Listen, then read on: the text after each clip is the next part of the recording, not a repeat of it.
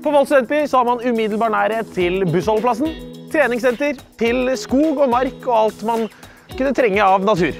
Og til Vold gård, hvor du kan kappe på geit. Det tror jeg er verdens beste hangover-kur. Vil du ha mat?